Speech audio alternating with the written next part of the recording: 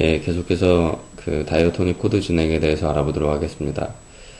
여기 기본적인 코드 패턴을 적어놨는데요. 예, 기본적인 코드 패턴 얘들은 그 옛날부터 지금까지 많이 사용되고 있는 그런 코드 패턴들입니다. 그리고 여기 특히 그 첫 번째, 두 번째, 세 번째 예, 있는 것들은 그 순환 코드라고 부르고 있습니다.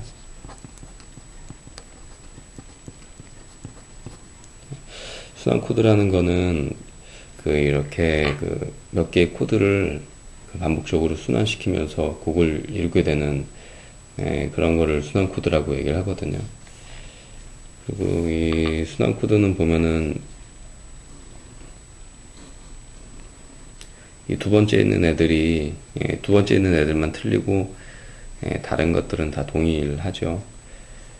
예, 요거를 시작점을 다시 바꿔가지고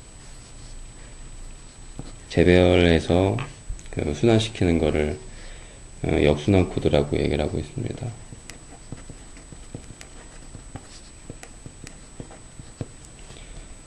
자, 여기 어, 세 번째 있는 2도 마이너스 7부터 시작을 해가지고 15도 7, 1도 그리고 두 번째 있는 것들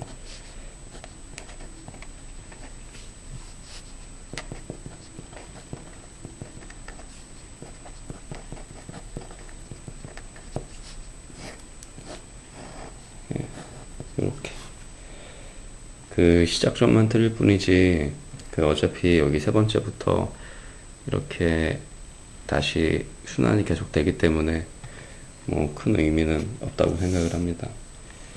그리고 네 번째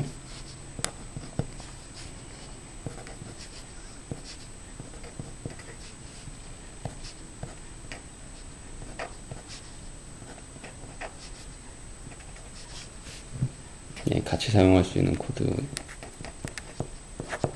코드죠 얘는. 그 네 번째 기본 아, 코드는 예, C키로 여기 코드를 적어보자면은 7F 같이 사용할 수 있는 코드 B 플러스 7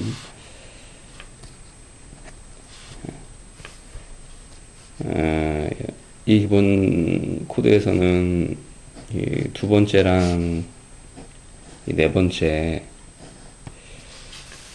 그 불협화음이 오게 되면은 다른 코드를 사용할 수가 있게 되거든요. 여기 끝에 거 보면은 일단 구성음이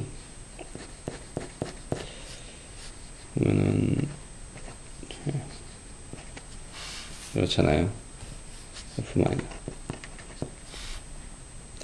네, 그런데 멜로디에 에, 라가 오게 되면은 예, 불협화음이 돼가지고 그 F 마이너를 사용할 수가 없게 되는데요. 예, 이럴 때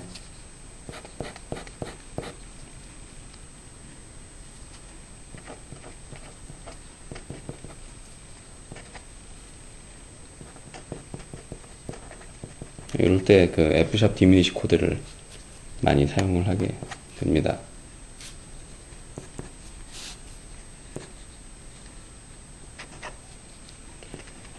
불협화음으로 그 4도 마이너 예, 또는 예, 7. 예, 이 코드를 사용하지 못하게 될 때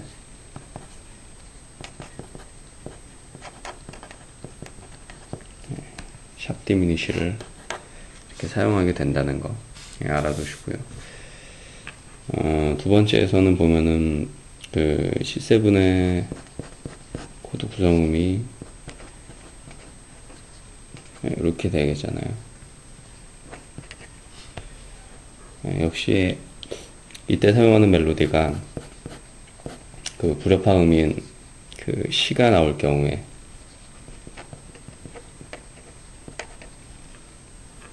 그러면은 C7을 사용할 수가 없게 되는데요.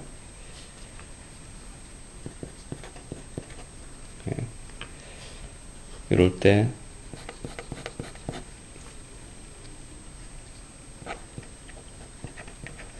C 어그먼트 코드를 사용을 하게 됩니다. 구성을 보면은 sharp이죠. 자, 이렇게 그 C augment 코드를 사용한 다음에 그 다음 코드 F에 있는 라음으로 이렇게 해결이 될 수가 있겠죠.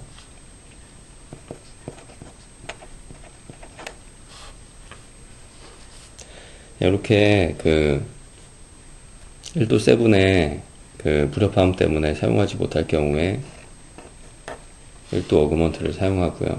그 augment 코드일 경우에는 그 옛날에 했었는데 그 어드, augment 코드의 경우에는 그 어떤 어, 음을 그 근음으로 하더라도 그 augment 코드가 만들어졌잖아요.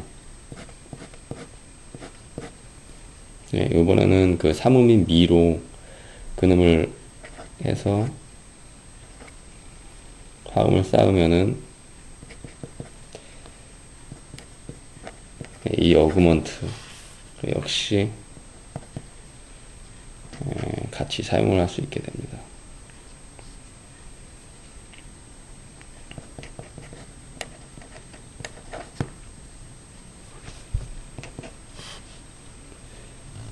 그리고 그 이 어그먼트 대신에 그 E7을 한번 사용을 해보면은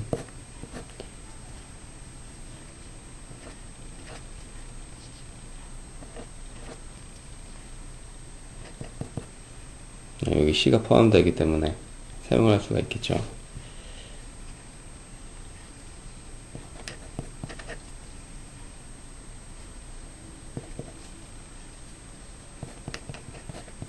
이렇게 되죠. 역시 또 사용을 할 수가 있고. 그래서 그 다시 정리를 해보자면은 그 기본 코드 패턴의 그 네 번째 정리를 다시 하면은 그 1도 다음에 1도 7을 사용하지 못하게 될 경우에 1도 augment 아니면은